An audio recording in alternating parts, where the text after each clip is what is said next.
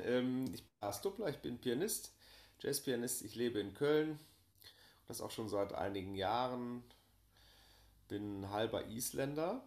Das ist ja vielleicht für unser Thema hier wichtig. Meine Mutter ist Isländerin, wohnt aber schon lange in Deutschland und ähm, genau deswegen beschäftige ich mich gerne mit isländischer Melodie und ähm, Musik. Ja, bei mir ist es sehr ähnlich. Ähm, ich bin Stefan Karl Schmidt, Saxophonist, Klarinettist, komponiere auch sehr gern und äh, lebe auch wie Lars in Köln. Bin auch halber Isländer. Bei uns ist fast genau das Gleiche. Auch meine Mutter ist Isländerin. Und auch diese Thematik hat uns so ein bisschen als Duo zusammengeführt, sozusagen. Ähm, gibt ja nicht so oft, dass man in der gleichen Stadt lebt und einen anderen Halb-Isländer noch als äh, Musikerkollegen im fast gleichen Alter auch noch hat. Ähm, genau. Ja. ähm, ja, ich, ich, unterrichte auch noch ähm, an der Musikhochschule in Mannheim und sonst bin ich freischaffend als Musiker äh, tätig von Köln aus überall. Gerade im Moment nicht so viel wie viele der Kolleginnen und Kollegen, aber ansonsten ja, sind Lars und ich natürlich auch viel unterwegs und spielen viel mit verschiedensten Projekten, nicht nur in unserem Duo. Unser Duo gibt es schon länger, ähm, aber genau, wir haben auch viel auch schon in anderen Projekten zusammengespielt und äh, haben beide unsere eigenen Projekte und so weiter. Genau.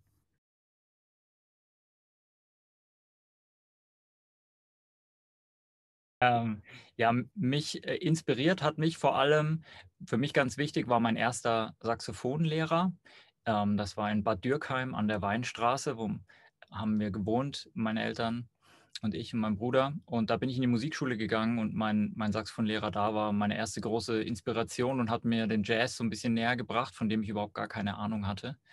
Und ganz entscheidend war dann eigentlich ähm, das Landesjugend-Jazzorchester. Es gibt ja in jedem Bundesland solche Landesjugend-Jazzorchester, die eine sehr schöne, sehr gute Förderung, Jazzförderung betreiben und da bin ich dann so richtig auch mit Gleichaltrigen in Kontakt gekommen, die, die ein Fable für Jazz hatten, was, was man sonst in der, in der Schule bei mir überhaupt nicht gefunden hat und so. Und dann ist man plötzlich, hatte man da Kontakt zu Gleichgesinnten und das hat sehr großen Spaß gemacht und hat dann inspiriert und dann durch das ganze Umfeld mit den Dozenten dort und was man alles da mitbekommen hat, hat man sozusagen die Möglichkeit dann gesehen, okay, vielleicht ist es ja was, Musiker zu werden äh, und sich mit dieser Musik als sein, ja, als Lebensaufgabe zu beschäftigen.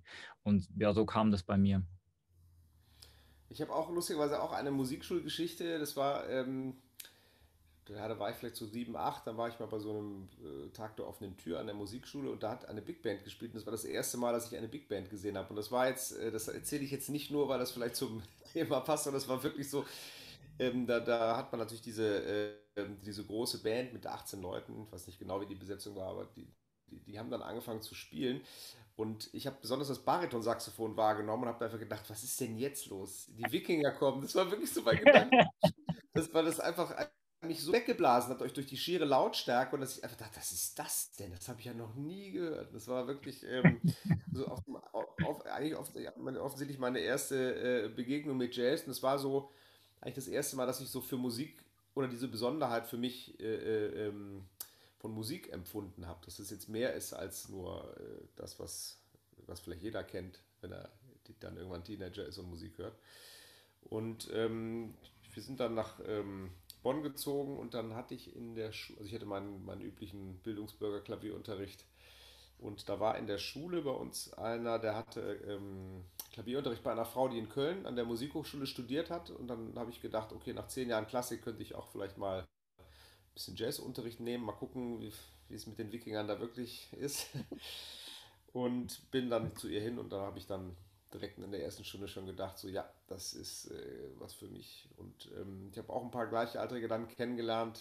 In Bonn gibt es die Jazzgalerie oder die gab es mal, das war ein Jazzclub, das war dann immer die Session sonntags. Und ähm, da haben wir dann immer gespielt. Es waren dann so äh, Leute, der Nils Wölker zum Beispiel, der Trompeter oder der, ähm, der Bruder vom Till Brönner, der hat Schlagzeug gespielt, der war dann auch mit dabei. Das waren dann so Leute im gleichen Alter, ein bisschen jünger. Und dann sieht man natürlich Musik nochmal ganz anders, wenn man jetzt nicht immer zu den Älteren geht, sondern halt mit seinen Peers auch mal ein bisschen ähm, Musik machen kann, neben den üblichen äh, Sachen, die man so macht in dem Alter. Und ähm, genau, bin dann nach Köln an die Musikhochschule gekommen, auch Landesjugend Jazzorchester NRW. Das waren so wirklich auch sehr große äh, Einflüsse. Und ähm, gerade im Landesjugend Jazzorchester habe ich noch sehr viele Leute, mit denen ich heute noch regelmäßig Musik mache. Und das ist äh, wirklich eine sehr schöne Einrichtung, dass, die es da so gibt in dem Bundesland.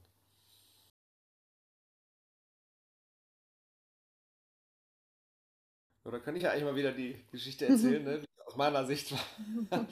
Stefan ist ein paar Jahre jünger als ich und ähm, ich, ich, kannte ihn jetzt noch gar nicht, als er nach Köln kam, weil ich dann schon aus der Hochschule raus war und ähm, natürlich als Student am Anfang spielt man jetzt noch nicht so viel, aber das erste Mal habe ich ihn dann bei dem, und ich hatte dann irgendwann schon gehört, ja, da ist noch ein anderer halb Isländer und äh, hatte den Namen dann schon gehört und ich weiß auch gar nicht, wahrscheinlich habe ich dich gegoogelt, um zu sehen, wie du aussiehst.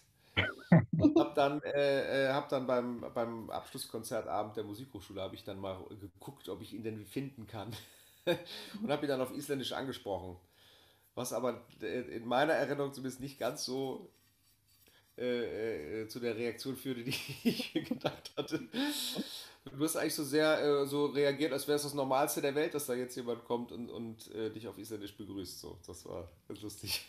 Ja, ich war natürlich, ich war natürlich total vorbereitet, weil ich, weil ich genauso wie du ja wusste, ah, da ist noch einer der Lars Dupler und ich hatte dich natürlich da als Jüngerer und irgendwie frisch in der Hochschule hatte ich natürlich das ausgecheckt. Wer ist denn dieser Lars? Der spielt so krass. Das ist so ein guter, also ein guter Pianist und so.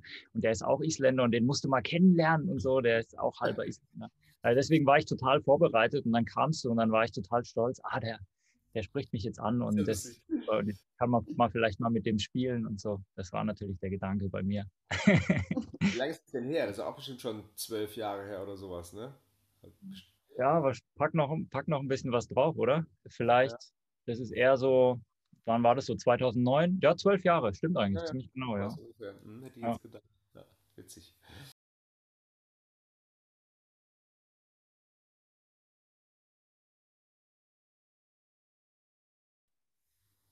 Also bei uns war es eigentlich so, dass wir, wir haben dann einfach uns hin und wieder getroffen und, und auch gemerkt und, und also aus, wenn ich es einfach aus meiner Sicht so sagen kann, dass, dass das irgendwie musikalisch, dass da, dass es gut funktioniert und ich spiele total gern mit Lars und ich habe das Gefühl, ähm, wir passen da gut musikalisch zusammen oder die Ideen, die ich irgendwie habe musikalisch, die, die treffen da auf, auf äh, fruchtbaren Boden sozusagen und umgekehrt genauso. Und wir verstehen uns musikalisch und persönlich und zwischenmenschlich sehr gut. Und deswegen haben wir eigentlich über die letzten Jahre immer mal wieder was gemacht, aber tatsächlich in relativ großen Abständen. Also ähm, genau, und aber immer wieder, immer wieder regelmäßig und neue Sachen ausprobiert, mal neue Stücke geschrieben, sich wieder getroffen, dann mal mit anderen Leuten zusammen eine Jam-Session gemacht oder sonst was. Und eigentlich einen kleinen Boost hat das Ganze jetzt sozusagen bekommen durch die, durch die aktuelle Corona-Pandemie weil dann gerade am Anfang so die Möglichkeiten, die es noch gab, kleine Auftritte zu spielen, waren hauptsächlich dann für Duos, also einfach kleinere Besetzungen, weil man durch diese Hygienemaßnahmen und Abstände und so weiter in den Clubs dann nicht mehr mit einem Quartett auf der Bühne stehen konnte. Äh, und dann haben sich viele Duo-Möglichkeiten ergeben plötzlich. Und da war das natürlich dann das naheliegendste auch, ähm, ja, irgendwie, dass wir zwei wieder zusammenkommen und vielleicht das Ganze nochmal ein paar neue Stücke schreiben und ein bisschen kreativ sind zusammen und die Zeit nutzen, die uns jetzt zur Verfügung steht. Und dann haben wir verschiedene Sachen gemacht. Wir haben ein paar Livestream-Konzerte gespielt, wir haben kleine Videos aufgenommen hier in Köln mit, mit einem anderen ähm, Musikerkollektiv, was es hier gibt und haben auf so einem, auch auf einem Festival hier gespielt, dann was auch wieder gestreamt wurde, für das wir gefragt wurden, auch aufgrund dieses, dieses Duo-Settings. Ähm, ja, und das ist eigentlich ganz schön. Und jetzt haben wir auch für ein DLF gerade eine Aufnahme gemacht im Februar und das wollen wir jetzt als CD auch veröffentlichen, sodass äh, eigentlich diese durch diese unangenehme Pandemiesituation für uns jetzt äh, das total fruchtbar war, sage ich mal, und wir die Zeit dann genutzt haben. Und es ist eigentlich sehr schön und es hat sich, finde ich, musikalisch auch jetzt irgendwie dadurch weiterentwickelt und macht großen Spaß irgendwie. Ja.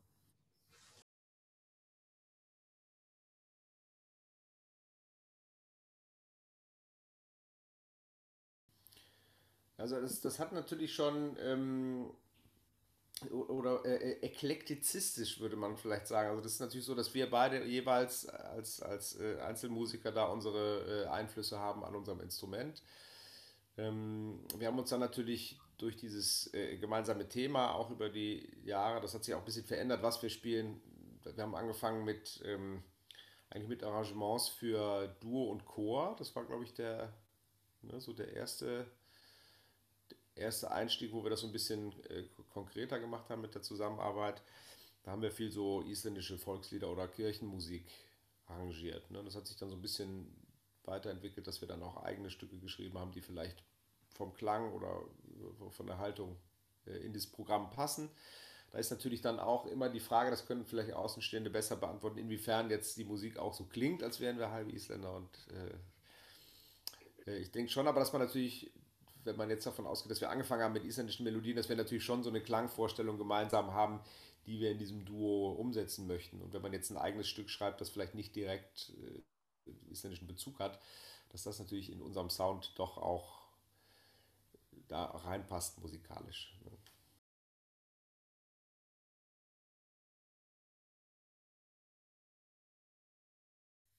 Genau, also Rimur sind sozusagen, ähm, ist eine, eine, eine Gedichtform sozusagen, ein, ein ähm, wie, wie sagt man, die sind sozusagen Gedichte oder Rezitative, die der, der, der isländischen Sagenwelt entspringen. Aus dem 14. Jahrhundert kommt es. Und das ist im Prinzip so, ich meine, Lars, du kannst es besser erklären als ich, aber es sind äh, ja sozusagen wie äh, Balladen, würde man sagen, im Deutschen. Ja. Mhm. Genau, Texte, Geschichten, die vorgetragen werden, meistens von einer Person. Und es sind ganz einfache Melodien, die dann wie so ein Sprechgesang auch sind. Ähm, genau, und die nennt man äh, Rimur, ist der Plural, die Rimur. Und genau, und da, damit kann, kann man natürlich musikalisch sehr viel, das hat eine, eine reiche Tradition in Island und es gibt einige auch aktuelle Musiker in Island, die diese Rimur wieder beleben und, und die benutzen, um Musik zu kreieren, neue Sachen zu schaffen. Und wir haben uns, wir haben uns das auch als Inspirationsquelle genommen, weil es tatsächlich sehr, man damit sehr viel machen kann, weil es nur diese, es gibt diese Texte, die natürlich dann einen, einen Inhalt, eine Stimmung vermitteln, an der man sich orientieren kann, die inspirierend sein kann. Und zusätzlich sind diese kleinen Melodien, die unbegleitet vorgetragen werden, geben natürlich großen Spielraum, sie selber zu arrangieren, selber sie in einen, in einen harmonischen Kontext zu packen, der vielleicht gar nicht unbedingt ähm, so offensichtlich ist oder da, da nicht äh, direkt dazu passt oder das wo in eine ganz andere Richtung transportiert sozusagen. Also es ist sehr inspirierend, da damit umzugehen und bietet sehr viele Anknüpfungspunkte für die eigenen musikalischen Ideen.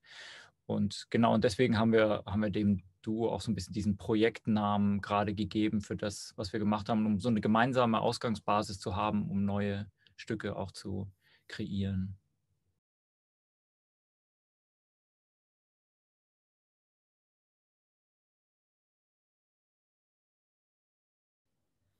Wir haben es bisher immer so gemacht, dass jeder sich was vorgenommen hat. Ne? Das, hat das heißt, wir haben jeder eine Anzahl von Stücken arrangiert oder eigene Stücke geschrieben, die, äh, oder wo wir der Meinung waren, dass die in das Projekt passen. Und so, ähm, ja, durch die durch gemeinsame Proben entsteht dann schon so eine, so eine, äh, so, so, eine gemeinsame Spielhaltung, wo man äh, bestimmte Dinge auch, die vielleicht ursprünglich auch mal für ein anderes Projekt konzipiert waren, wo die auch dann äh, in unserem Sound ganz gut funktionieren. Es ist auch tatsächlich so, dass ich jetzt im Laufe der Jahre auch so ein paar Stücke ähm, äh, abge, wie sagt man denn, die sind, die so ein paar Stücke rausgeflogen sind, die wir am Anfang gespielt haben. Die, die sind natürlich im Bandbook, wenn man es so nennen will, sind die natürlich noch drin. Ne? Wer weiß, vielleicht gibt, vielleicht, die werden sicher auch nochmal auftauchen. Aber das ist auch schon so, dass man da vielleicht so eine, so eine Ahnengalerie fast schon hat, ne? von Stücken, wie das, wie es anfing, wo das jetzt gelandet ist. Und ähm, ja. ja, genau, also der, der Prozess ist tatsächlich eher äh, also wenn du so fragst, eher individuell zu Beginn, dass jeder das für sich zu Hause im stillen Kämmerlein sich Sachen vorstellt. Und bei mir ist jetzt zumindest so auch in letzter Zeit ähm, so gewesen, dass ich natürlich dann zu Hause komponiere und, und mir schon vorstelle und schon weiß, okay, ich komponiere das für Lars und für mich und dann schon so ein bisschen so eine Vorstellung habe, was Lars wahrscheinlich da machen könnte oder machen wollen würde und mit der Idee ich dann schon was schreibe. Und dann bringe ich es mit zu einer Probe und dann kommt es auch schon oft vor, dass ich das dann wieder mit nach Hause nehme und was dran ändere, weil mir Lars dann zum Beispiel was dazu gesagt hat oder so gespielt hat, dass es mich zu was anderem inspiriert hat oder, oder ich eine Idee von ihm dann aufgreife und die dann mit einbaue. Und die Stücke sind so eigentlich in, in stetem Wandel. Wir spielen sie nie exakt gleich. Es ist immer, wenn wir es wieder spielen, entsteht was Neues. Und dann entwickeln sich die Stücke auch so weiter, weil natürlich auch der Improvisationsgehalt in den Kompositionen relativ hoch ist. Es ist nicht nur das komponierte Material, was wir dann möglichst perfekt versuchen vorzutragen oder schön vorzutragen, sondern das Material, was da ist, wird sehr stark von uns im Moment interpretiert und durch unser Duo sind wir da sehr agil und ne, nur zwei Komponenten sozusagen, zwei Spieler, die sich die Bälle hin und her werfen. Und da, das kann, das kann dann in ganz andere Richtungen gehen, das ein und dasselbe Stück. Und je öfter wir es spielen, umso weiter um, ja, entwickeln wir es immer weiter sozusagen.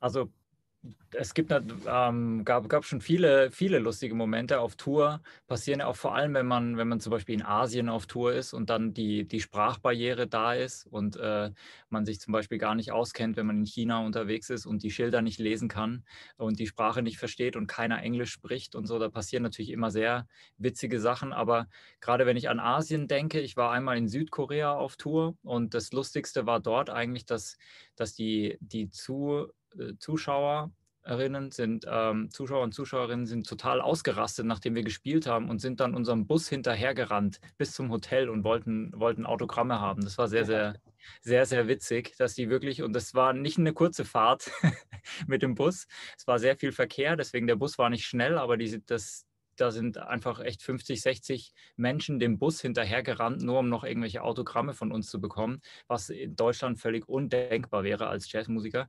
Das war, das war ein sehr, sehr lustiger Moment und wir haben uns da eigentlich total kaputt gelacht äh, und konnten das gar nicht so richtig ernst nehmen. Aber das war zum Beispiel ein sehr, sehr guter Moment in, in Korea.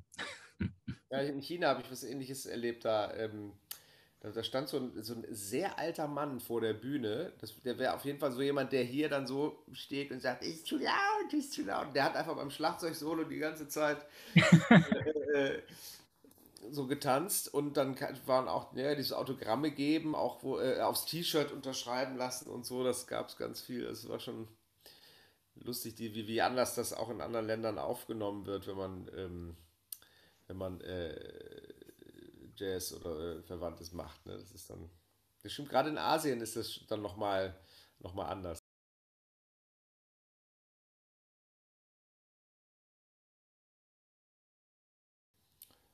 Oh, ja. Olle och Rappe auch Ringpferd.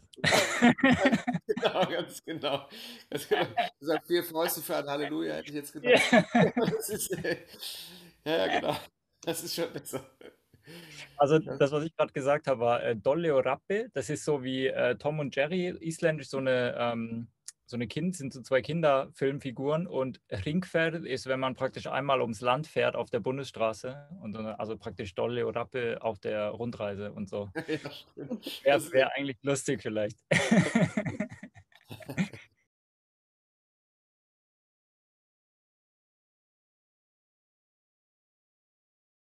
Ich war, ich habe natürlich, war noch nicht persönlich auf dem Festival, aber ich bin schon sehr gespannt äh, zu, zu sehen und hören, wer dann, wer dann noch alles dort, ähm, dort auftritt sozusagen. Und ich finde es toll, dass es ein Festival gibt, was sich, was sich sozusagen äh, in der Musik, also so in dem Norden in Skandinavien verortet und diese Musik darstellt in im Rahmen von einem Festival. Das finde ich, finde ich super. Und Teil dessen zu sein, auch wenn man nur ein Halb-Isländer ist.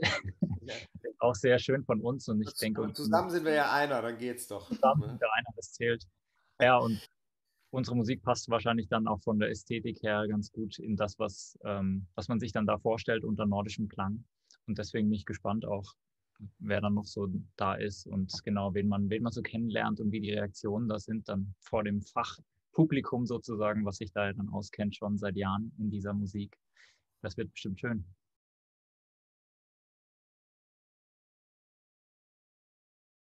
Dass wir herkommen zu unserem Konzert. Vielleicht. Ganz einfach. Ja. Weil es wird auch jetzt im Sommer, äh, glaube ich, ein Weilchen dauern, bis das so langsam anfängt. Ne? Ich könnte mir vorstellen, dass wir im Dom natürlich eine gute Chance haben, dass da auch ein paar Leute sein können, je nachdem, wie sich es entwickelt. Also gehe ich eigentlich mal von aus. Ne? reduziert natürlich, aber äh, eigentlich im August müsste es ja klappen. Ähm, ja, Ja, dass man mal wieder unterwegs ist, ne? ja, Leute gerade vor Leuten spielt. Ja, wir haben ja jetzt sehr wenig gespielt, einfach auch im letzten Jahr. Und dann ist so ein Auftritt natürlich was ganz Besonderes, wenn man dann da irgendwie auch Köln mal verlässt wieder und wohin reist zum Spielen und dann ähm, genau da ein Konzert im Dom geben. Ich stelle mir vor, dass die Akustik da auch sehr besonders sein wird und dass man da ähm, wahrscheinlich mit, auch mit unserem Duo den, den Raum mit, mit Sound füllen kann. Und da freue ich mich dann drauf, dass ich das nicht wie sonst hier jetzt gerade in meiner Übekabine, in der ich gerade sitze, ähm, auf vier Quadratmetern mache, sondern in einem Dom und mein Saxophon-Sound endlich mal Platz hat, in jede Ecke vorzudringen. Und das mit Lars zusammen zu machen, das ist natürlich äh, ja jetzt so, so ein Highlight dann im Sommer. Ähm, ja, weil jetzt einfach auch so wenig los war und dann sticht so, so ein Konzert auf so einem Festival natürlich total heraus und da freut man sich dann schon. Ich habe mich jetzt auch schon auf Mai total gefreut und war dann natürlich wieder so ein bisschen traurig, dass es ausgefallen ist. Aber umso mehr dann im Sommer, im August da zu spielen und einfach ja schon mit Vorfreude dahin zu fahren, die lange Reise zu machen. Das stört dann überhaupt nicht, dass man da lange unterwegs ist, sondern mit jedem Meter, den man sich nähert, freut man sich mehr, dann endlich äh, in meinem Fall jetzt ins Saxophon zu pusten und da äh, den Dom mit Sound zu füllen. Und dass andere Leute dann auch noch daran teilhaben können, wäre natürlich sehr, sehr gut.